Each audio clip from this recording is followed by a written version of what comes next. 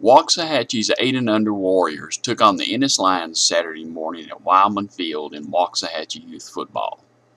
The Lions jumped out to an early lead against the Warriors and cruised to a 28-6 win over Waxahachie in the third week of competition for the league.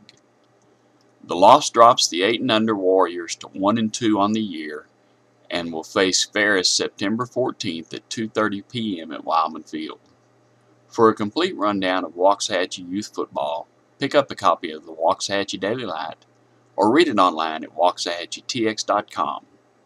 This has been Scott Dorsett with another Daily Light Through the Lens feature.